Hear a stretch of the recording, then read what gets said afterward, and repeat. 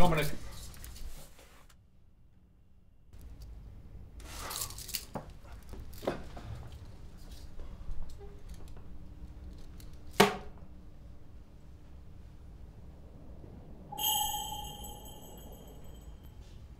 Mr. Andre Heinrich,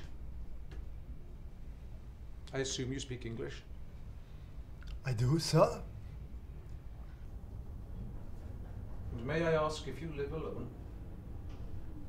Yes, officer. Any visitors?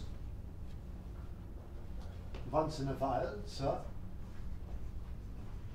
And do any of these visitors go by the name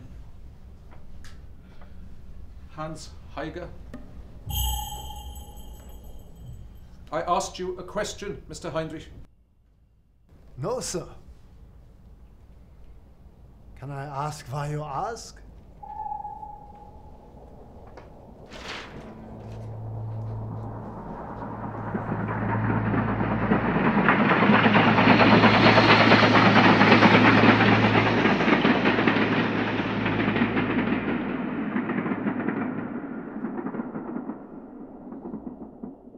What is this?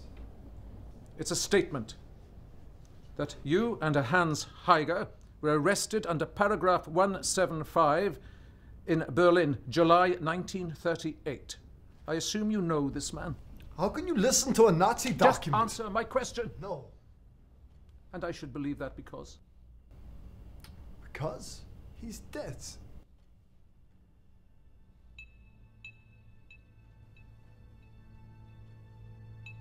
How do you know? I don't. Yes, you do. After all, seven recorded kisses must mean something! Because I. Yes. I killed him.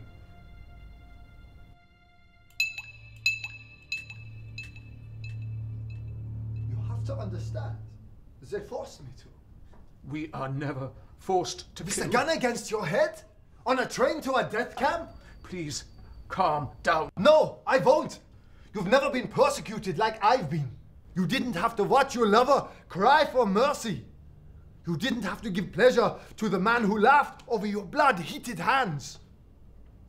You know nothing. You weren't there.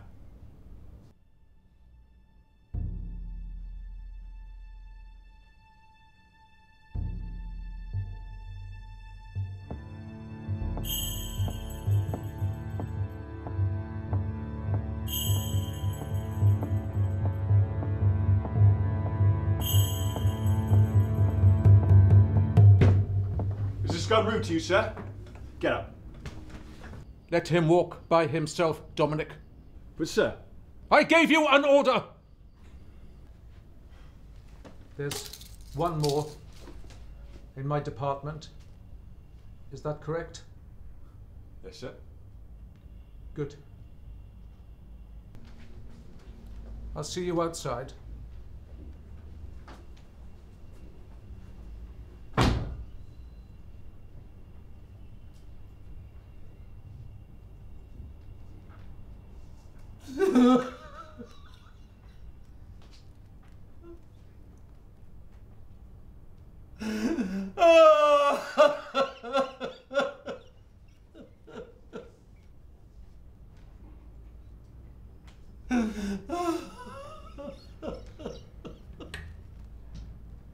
Mm-hmm.